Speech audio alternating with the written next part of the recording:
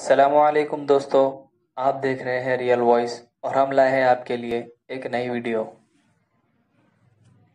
मैं लाया हूँ आपके लिए एक नई सीरीज़ जिसमें हम दिलचस्प मालूम हासिल करेंगे। जिसमें सबसे अव्वल है शुमुख। दोस्तों, आपने परफ्यूम तो बहुत देखे होंगे और लुत्फ भी उठाया होगा, लेकिन यह परफ्यूम बहुत ही आला है और उसकी कीमत भी बहुत ही ज़्यादा है। खुशबू किसे पसंद नहीं होती, लेकिन जब उसकी कीमत करोड़ों में हो तो फिर क्या ही कहने। एक आम इंसान तो सिर्फ़ उसकी कीमत सुनकर ही दिल थाम कर रह जाता है। मशहूर company, the spirits of Dubai, ने दुनिया का महँगा तरीन परफ्यूम शुमुख तैयार किया है, जिसकी कीमत इंडियन रुपीज़ में लगभग नौ करोड़ रुपये है। बोतल में सिर्फ़ खुशबू ही नहीं है, बल्कि बोतल पर हीरे मोती भी चढ़े हैं। लफ्ज़ शुमुख असल में अरबी ज़बान से लिया गया है, जिसके मायने है सबसे ज़्यादा ऊँचा और शानदार। दोस्तों परफ्यूम कई लिहाज से Guinness book of world record का हामिल है। सबसे पहले तो ये कि इसकी बोतल पर किसी भी दूसरे महँगे तरीन परफ्यूम के मुकाबले में ज़्यादा हीरे जड़े हुए हैं, जबकि इसका स्प्रे रिमोट कंट्रोल से किया जाता है। इस बोतल में मुख्तलिफ़ चीज़ें भी जोड़ी गई हैं। और company the spirits of Dubai, उसके चेयरमैन असगर आदम अली का कहना है कि इसको आप अपने हम सफ़र और अपने वालदा को भी गिफ्ट कर सकते हैं। अब हम असगर भाई को क्या कहें कि पूरा घर बेचना पड़ेगा। दोस्तों, दूसरा है भेड़िया। वो वही जानवर है जो अपनी आज़ादी पर कभी भी समझौता नहीं करता। और भेड़िया, वो वही जानवर है जो किसी का गुलाम नहीं बनता, जबकि शेर समेत सब जानवरों को गुलाम बनाया जा सकता है। भेड़िया की तेज और फुर्तीली आँखें जल्दी से शिकार को देख लेती है, और भेड़िया कभी मुर्दार नहीं खाता, और ना ही भेड़िया कभी अपनी माँ और बहन को शहवत की निगाह से देखता है। ये दूसरे जानवरों से बिल्कुल मुख्तलिफ़ है। दोस्तों, भेड़िया अपने शरीर शरीक हयात का इतना वफादार होता है कि इसके अलावा किसी और मोन्नस से ताल्लुक कायम नहीं करता और इसी तरह मोन्नस भेड़िया भी वफादारी करती है। भेड़िया अपने औलाद को पहचानता है क्योंकि उनके माँ और बाप एक ही होते हैं। जोड़े में अगर कोई मर जाए तो दूसरा मरने वाले की जगह पर कम अज कम तीन माह खड़ा, मातम और अफसोस करता है।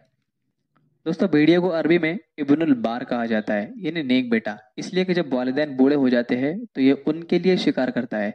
और उनका पूरा पूरा ख्याल रखता है। भेड़िया की बेहतरीन सिफात में बहादुरी, वफादारी, खुददारी और वालदेन से उसने सलूक मशहूर है। जब भेड़िया एक जगह से दूसरी जगह जाते हैं तो कुछ इस तरह चलते हैं कि सबसे आगे चलने वाले बीमार और बूढ़े भेड़िए होते हैं। उसके पीछे पाँच छः ताकतवर भेड़िए इन बीमार और बूढ़े भेड़ियों की मदद करके साथ चलते हैं। उनके पीछे चाको चौबंद भेड़िए होते हैं जो किसी हमले को रोक सके। दरमियान में बाकी आम भेड़िए होते हैं। और सबसे आखिर में भेड़ियों का कायद, यानी कि उनका सरदार होता है, जो सब पर नज़र रखे होता है। कोई अपनी ड्यूटी से गाफिल तो नहीं। इसको अरबी में अल्फ कहते हैं कि अकेला हज़ार के बराबर। एक सबक जो हमारे लिए इबरत है कि भेड़िए भी अपना बेहतरीन कायद और खैर ख्वाह मंतखब करते हैं। इसलिए दोस्तों, तुर्क इस जानवर से बहुत प्यार करते हैं और तुर्की का ये कौमी जानवर भी है। दिमाग के रास जो आप नहीं जानते। दोस्तों, गुजशत बरसों से साइंसदान इंसानी जिसम के कई अजायबात जान चुके हैं, लेकिन वो पूरी तरह दिमाग के असरा से वाकिफ नहीं हो सके। रफ्ता रफ्ता वो दिमाग के राज जान रहे हैं।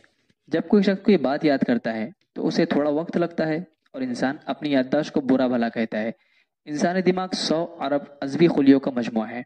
जब हम कोई बात याद करने की कोशिश करते हैं तो हमारे अहकाम दिमाग में पचास एक सौ बीस फ़ी सेकंड फ़ी मीटर के हिसाब से दौड़ते हैं। इसलिए अमल करने में कुछ देर लगती है। इंसानी दिमाग का वज़न सिर्फ़ तीन पाउंड है, लेकिन वो अपनी सरगर्मी अंजाम देते हुए जिसमानी तोानाई का 20 फ़ीसद इस्तेमाल करता है। दोस्तों 2011 में कोलंबिया यूनिवर्सिटी अमेरिका के महक्कों ने तहकीक के बाद ये बताया कि इंसान जब इंटरनेट इस्तेमाल करे तो सोच, विचार पर कम और याददाश्त पर कम तोज्जा देता है, लेकिन ये दिमाग को कमज़ोर करता है और वो कई बातें भूलने लगता है। इसलिए हमें चाहिए कि गौर व फ़िक्र पर ज़्यादा ध्यान दे बिलमुकाबिल इंटरनेट के इस्तेमाल के दोस्तों, माहरीन ने तजुर्बा किया।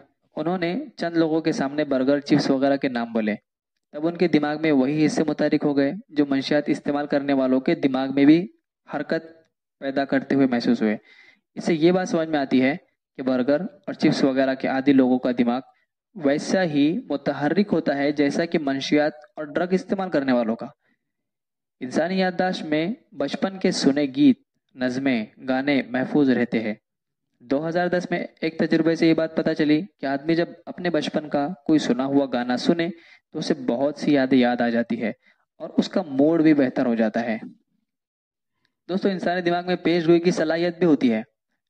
जैसे कि जदीद तहकीक से मालूम हुआ कि इंसानी दिमाग का सबसे अगला हिस्सा फ्रंट पोलर कॉटेक्स माजी के तजुर्बा से नतज अखज करके मुस्तबिल की पेशन गोई भी कर सकता है। वो जहनी तौर पर फ़ौकुल बशर ताकत नहीं रखता। ताहम तजुर्बों के बल पर मुख्तसर मुद्दती पेशन गोया करने के काबिल है ही। दोस्तों, वज़न के लिहाज से मर्दों का दिमाग औरतों के दिमाग से 10 फ़ीसद ज़्यादा भारी होता है। दोस्तों, इंसान जब 20 से सत्ताईस साल की उम्र में होता है तो उसकी दिमागी सलाहियतें अरूज पर होती है और सत्ताईस साल के बाद याददाश्त कमज़ोर होने लगती है। अगरचे दिमागी सलाहियत ख़ास हद तक बरकरार रहती है। पैंतालीस साल के बाद इन्हें जवाल आने लगता है। दोस्तों, हद से ज़्यादा मोबाइल का इस्तेमाल दिमाग के लिए मुजिर है, बल्कि वो बड़ी बड़ी बीमारी भी पैदा कर सकता है और इंसान में नींद और घबराहट के मसाइल पैदा करता है।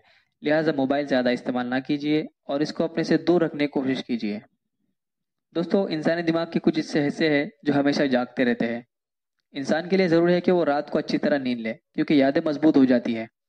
कुछ दिमागी हिस्से सोते हुए हमेशा बेदार रहते हैं, दरअसल वो यादों की जाँच करते हैं गैर अहम यादों को मिटा देते हैं।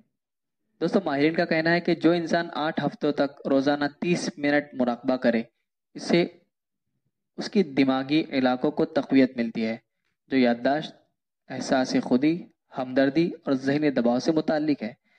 मुराकबे का तरीका यह है कि कोई सुकून बख्श लफ्ज़ अल्लाह दिल में दोहराता रहे, ताकि इंतज़ार फैलाने वाले ख्याल दिमाग पर हमला आवर ना हो। दोस्तों, कोई मर्द जन ऑफ़िस या घर में काम करते रहने को वर्जिश समझते हैं और वर्जिश एक अलग चीज़ है। वर्जिश के ज़रिए दिमाग खुद को ताज़ा दम महसूस करता है और कई बीमारियों से बचाता है। माहिर का कहना है कि रोज़ाना कम अज़ कम तीस मिनट वर्जिश करना चाहिए और हमारे दिन भर की जो मसरूफियात होती है, उनका शुमार वर्जिश में नहीं होता। दोस्तों न्यूयॉर्क सिटी के माहरीन गुजशत नौ बरस से तहकीक कर रहे थे कि ज़्याबतीस के जो मरीज़ अपने खून की शक्कर काबू में नहीं रखते, उन पर कैसे मनफी असरात मुरतब होते हैं। जो तो हज़ार बारह में तहकीक के नतज सामने आए। उनसे बड़ा इंकशाफ ये हुआ कि ज़्याबतीस रफ्ता रफ्ता दिमाग को भी कमज़ोर कर देता है। लिहाजा अगर आप ज़्याबतीस के मरीज़ हो तो इस मर्ज़ पर काबू पाए और खून में शक्कर की सतह अतदाल पर रखें। मोबाइल के मुजिर असरात। दोस्तों, हम जो मोबाइल फ़ोन आजकल इस्तेमाल कर रहे हैं, वो हमारे लिए बहुत ही ज़्यादा नुकसानदा है। दिन भर में कई कई घंटा मोबाइल इस्तेमाल करना लोगों की आदत बन गई है और चाहते हुए भी अब इस आदत से छुटकारा पाना नामुमकिन दिखता है। हर चीज़ की ज़्यादा नुकसानदा है। अब चाहे वो ज़्यादा खाना हो या फिर ज़्यादा मोबाइल का इस्तेमाल ही हो। मोबाइल फ़ोन हमारी आँखों समेत जिसम के दूसरे हिस्सों को भी नुकसान पहुँचा रहा है। और ये नुकसान सिर्फ़ इस्तेमाल के दौरान ही नहीं, बल्कि वैसे भी पहुँचता ही रहता है। यकीनन, आप हैरान होंगे कि ये क्या बात हुई। जब रात देर तक आप मोबाइल इस्तेमाल करते हैं, फिर सोते वक्त हम मोबाइल को अपने तकिए के नीचे या फिर साइड में टेबल पर रख देते हैं, तब भी मोबाइल हमें नुकसान पहुँचा रहा होता है। हाल ही में एक तहकीक के बाद माहिरीन ने कहा है कि मोबाइल फ़ोन का ज़्यादा इस्तेमाल इंसानी सेहत के लिए ख़तरनाक हद तक नुकसानदा है। इस तहकीक के बाद मोबाइल फ़ोन को इस्तेमाल करने वालों को कहा गया है कि सोने से पहले अपना मोबाइल फ़ोन फासले पर रखें, क्योंकि मोबाइल से निकलने वाली रेडिएशंस इंसानी सेहत के लिए बहुत ज़्यादा ख़तरनाक और नुकसानदा होती है। इस तहकीक में ये भी पता चला है कि जब कोई शख्स मोबाइल में कोई फ़ाइल डाउनलोड कर रहा हो तो इससे जो रेडिएशंस निकलती है, वो भी सेहत के लिए ख़तरनाक होती है, जिससे कैंसर और जहनी अमराज और बांझपन जैसी बड़ी बड़ी बीमारियों में मुबतला होने के खतरात बढ़ जाते हैं। दोस्तों, ये रेडिएशंस बड़ों के मुकाबिल बच्चों में दुगना हद तक असर करती है।